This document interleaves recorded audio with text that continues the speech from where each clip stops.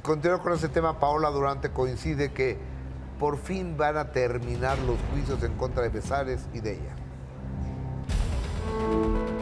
Paola Durante quedó conmovida con el reencuentro que Mario Besares y Paul Stanley tuvieron dentro de un reality show, pues considera que era momento de fluir y dejar en el pasado las malas experiencias derivadas de la muerte del conductor Paco Stanley. Ya por fin, después de 25 años, se cierra esto. Eh, ayer yo creo que si no me hubiera agarrado Shanique yo me hubiera desmayado, fue demasiado fuerte, me habló mi familia súper conmovida y me dijeron, hermana, se acabó. Ayer abrazaba al hijo de Mario, Alex estaba llore llore, me dijo, tía, se acabó, se acabó esto. Eh, ahora a crecer, a salir adelante y creo que por fin la gente con todo lo que pasó ayer con Paul fue de, güey, los juzgamos, los atacamos y si Paul ya está con ellos, de verdad, ellos no hicieron nada y se merecen todo. Paola también pudo conversar con Paul y afirma que fue sanador. Sí, hablé con él, este, nos abrazamos, nunca había platicado con él, o sea, sí había cruzado como un hola, adiós y ya, pero ayer fueron más palabras, fue un abrazo muy grande y le dije, eres un gran papá, la verdad que nos estás dando muchos ejemplos a, todos y por fin ya ayer se sanaron todas las heridas, eh, me conmovió mucho Mario, me hubiera encantado que lo abrazara, pero creo que ya habrá oportunidad más adelante. Considera que el domingo cerrará simbólicamente la puerta al pasado para disfrutar de otra manera la vida y las nuevas oportunidades. Que qué bueno que se perdonó, que ya no se juzga, que si se imaginara todo lo que iba a pasar en su vida, que iba a cumplir todos sus sueños, eh, pues que amo, amo esa niña, nunca voy a dejar esa niña.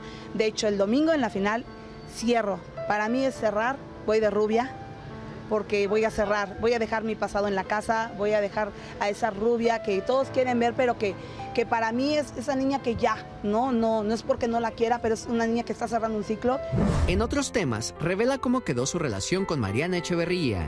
Ya vi a Mariana, no fue padre el reencuentro. Mariana desde el día uno en la casa no me, no, no me, no me saludó, o sea, nunca me enfrentó, nunca como que ella según iba a defender algo que ni siquiera sabía ella la historia, ¿no? Que le daba flojera a nuestra historia, pero mira, ¿no? No juzgues porque serás juzgado y Mariana hizo con Mario y conmigo eso. Soy Marco Mejía, la vida brilla más cuando sale el sol. Va, sale el sol sale el sol, me queda claro para Paola, para Mario y para mucha gente después de este reality. Y para otros se ocultó el sol. Exacto, los cinco que quedaron al final salen ganando. Ya aunque no ganen el dinero, ganaron en imagen. Y la que sale primero. Sí, exacto. porque, porque no da tiempo de nada. Aunque yo creo que Paola sí le faltó. Eh, la verdad es que vivió la experiencia, hoy tiene la exposición y aunque digan que no, yo sí lo creo así. Tanto a Paola como a Mario, la vida les está regresando tantas cosas que les quito. De acuerdo. Oye, yo sí lo veo así. ¿Saben quién está preocupadísima? ¿Quién? Shanique Berman.